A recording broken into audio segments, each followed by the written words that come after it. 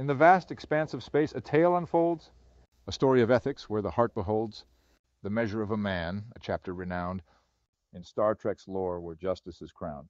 On the starship Enterprise, a trial takes place, a question of sentience, a moral embrace. Commander Data, an android so wise, his very existence now under scrutinized, a scientist Maddox seeks to dissect, Data's uniqueness, his essence to detect.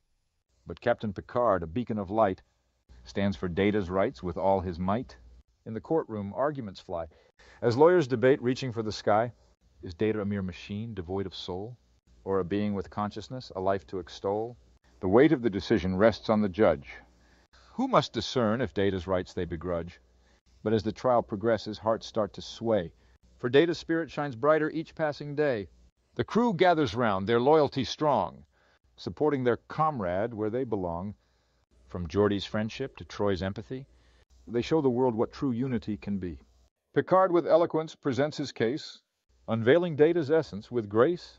For though Data is made of circuits and wires, he possesses a soul that truly inspires. In the end, the judge makes a profound decree, recognizing Data's personhood, finally free. A victory for justice, a triumph for all. As the crew celebrates, they stand tall. The measure of a man, a tale so grand, teaching us the value of taking a stand, that in the face of prejudice we must strive to recognize worth in every form alive.